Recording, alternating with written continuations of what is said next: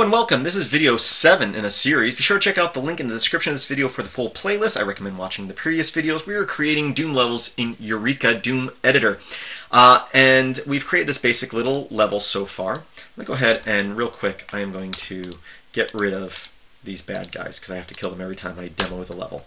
Okay, so far we've created this room with some switches uh, and little inlets and shells and we have a hallway with a door at the end. Uh, but let's say we want to have other walls within this sector. You can have sectors within sectors. Again, I like to think of sectors as rooms. So let's go ahead and what I'm going to do is I'm going to hit 6 on my number row up at the top here to change my grid size and I'm going to go V into vertex mode, and let's just add a little sector inside this sector. Perfect. Now, if we go, let's uh, put my mouse cursor here, I'm going to hit uh, the apostrophe key to move my 3D view here, and then tab to go into 3D view. Uh, view. You notice, you don't notice that, that sector. It's there, but everything's aligned with the sector that it's part of. Let me go ahead and hit tab to get out of this mode and hit S to choose that. And then we'll go back into 3D mode and I will move the floor up and the ceiling down. And you can see we just created a nice little shelf. Uh, we can tab to get out of that, L to go into line mode. And then we can choose a different texture for that if we want. I'll choose like a texture like this. That might look horrible. And in sector mode, I can choose a different ceiling texture for it as well. And floor texture. So there we go, we have that. Let's go ahead and uh, change, pick a better uh, wall texture. Boom, something like that, which I think is what it originally was on, or something similar to that. Now it looks like a teleporter. It isn't a teleporter yet. We'll talk about that in future videos. Uh, let's go ahead and I'm going to hit 5 to lower my grid down a little bit, T for things, and I'm going to put, I'll put a weapon there. I'll put chain gun there. And now that's there. So perfect. We have this nice little shelf-like thing within this sector. Let's say I want another one of those in this sector. I can go S for sector, backtick to make sure I have no other ones selected. I can select that texture, that, that sector, Control C, and then I can come over here and hit Control V, and I just placed another one right over here. And it even moved everything that was inside that sector, so there's another chain gun there as well. And of course, that's one of the great things about computers is repetitive tasks. You create something, you can copy and paste it as many times as you want. Uh, one thing to keep in mind, though, is the alignment. Uh, so I pasted that right inside this. If I come over here and I click, uh, where's right here, oh, uh, you notice that my floor texture does not align properly.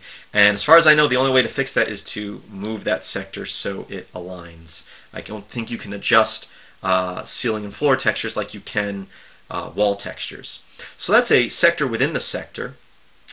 Let's go ahead and just to give ourselves more room, I'm going to hit V here, and I'm going to hit spacebar, spacebar, spacebar, spacebar, give ourselves a little hallway down here, and give ourselves another, oops, I didn't, uh, big room over here, and move that there. So now, in my view here, we just created this hallway here and a whole nother room. Let's say I wanted to put some pillars in this room. Again, I'll V to go into vertices mode, and I will create a sector there. Now, I can go into sector mode, and I can, you know, bring the ceiling all the way down. Now I have a little pillar there. Or, the other way around, I can make the floor go all the way up. The problem with this is it, it, it looks on a map like that might be a door, and people will try to click on it. I find the best thing to do is once you create that sector and you have that sector selected, just delete it and then you can change the wall texture line mode, and we can change the wall texture to be something like this. And now we have our own little sector here uh, that we deleted, so it's actually not a sector anymore. But we create a little pillar. So since it's not a sector anymore, I can't copy and paste that, but what I can do is I can go like this. I can create a sector here. I can choose that. I can copy it, paste it, paste it. And by the way, I'm copying with Control C, Control V, but of course you can go up to Edit, Copy, and Paste, just like any other program. Now I can choose those three sectors, hit Delete, L for line mode, and I can choose all of those and choose the texture I want. And now I have some nice pillars there. Uh, so yeah, you can do sectors inside sectors. uh, you know, I can come in here, I can do something like this. I can go uh, boom, boom, boom, boom, boom, boom, boom, boom, boom, boom, boom. Whoops. We'll adjust that in a second. Backtick to unselect. And now I can choose those and I can do different uh, ceiling and floor textures for them. I can unselect that one. Now I can do that for this. Unselect that one and do that. And now we have this nice little weird texture that looks funny, kind of like a, a rug. Like we put a rug in this wall here, in this uh, sector here. Anyway, that's creating sectors within sectors. And again, uh, anything that's inside that sector uh, will have, you can copy and paste as well. So again, if I was to control V, I can make another little hallway right here uh, with a, actually, what I can do is I can just make this room bigger. So again, uh, if I come back over here, you can see there's actually two sectors here. You can't really tell the difference too much. Um, we'll do that. Lower the floor a little bit there so you have a little step down like you're stepping in a new room. Let's go ahead and V and I will create this. Whoops, I meant to connect that. I can move that up and down so we have a little sector there. Let's go ahead and change the ceiling and floor textures. And I'm going to lower my grid down. I'll do four here, things, and I can add in a bunch of these little health files. And again, we can copy and paste, so I can backtick and select all these. Control C, come right here, Control V, and now we have two rows of those. And I can add in another one here, another one here, another one here, another one here. And in the middle, maybe I can add in a health pack. And now I have that, and I, let's say I want to do the same thing over here. I don't have to recreate all that. I hit um, S to go into sector mode, backtick to make sure I have no other select, I'll select that sector, Control C, I'll place it right in the center here, Control V, and now I have two of those right there. I'll save that and we'll test it out. Again, I can come up here, grab this chain gun. That switch doesn't do anything. I can grab this chain gun, this chain gun. Here's my room with the pillars and stuff. And here are those. Another thing I can do, if I wanted to, actually, yeah, I'll, I'll talk about it here, then I'll talk about the problems with it later. But I'll, what I'll do is I'll hit, I can come out here, S for sector mode. So now, let's say I wanted to build a whole new sector out here. Let me adjust my grid here. I have two options. I go into vertices mode, and I can create the walls like so, and I have a new sector. Let's undo that. Or if I hit S for sector mode, I can just hit spacebar and it's going to add a little square sector for me that I can then modify. I actually prefer using the vertices mode because I'm going to have to move the vertices for that little sector anyway. So what I'm going to do real quick is I'm going to create sector over here and I'm actually going to create little corner rooms on it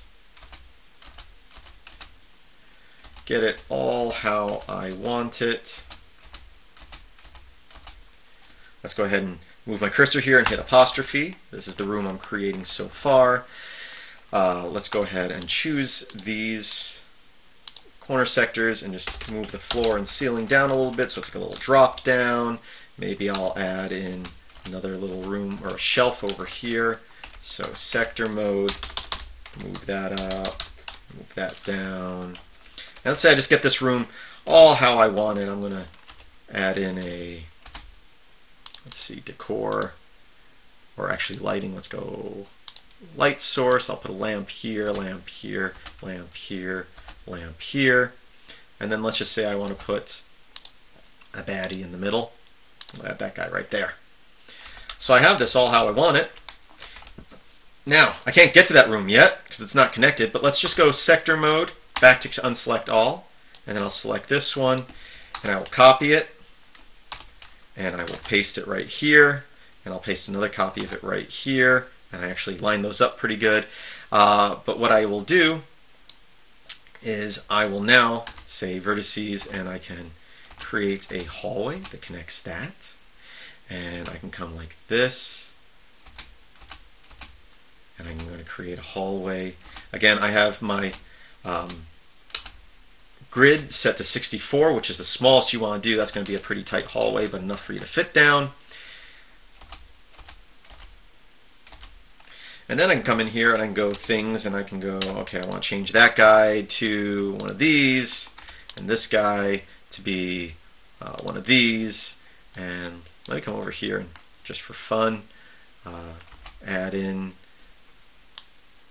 a BFG. And now I quickly created, after creating one room, three more rooms to mention. Obviously, you can go a lot more detail, but if you create a very detailed room, you can make multiple copies of it. Let's go ahead, save that, and test it. You know, I'll get my chain gun here, and I'll get my BFG here. I have my, and come down this hallway. Oh, there's, he's there. Come down this hallway. And I got this guy here, and I'll just take him out. Oop, there we go. This hallway's too small for him to fit down. You can shoot down it. Anyway, something to think about. You can create rooms like that, identical rooms, and then you can go and make little tweaks to make them each individual rooms instead of creating everything from scratch. Uh, that's it for this tutorial. I hope you're enjoying this tutorial. We have a pretty good level going so far. You know, very basic, but getting the concepts for each thing. I do thank you for watching. Please visit Films by Kris. That's Chris with a K. There's a link in the description. And as always, I hope that you have a great day.